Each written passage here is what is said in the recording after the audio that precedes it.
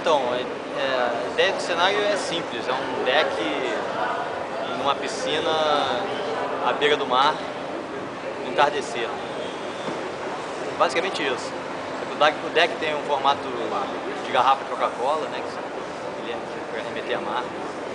Isso vai aparecer um, nas fotos com umas curvas, assim, que dão uma cara mais orgânica assim, pro deck.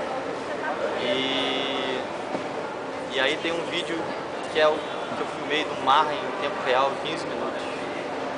Que vai ser o tempo máximo. Né?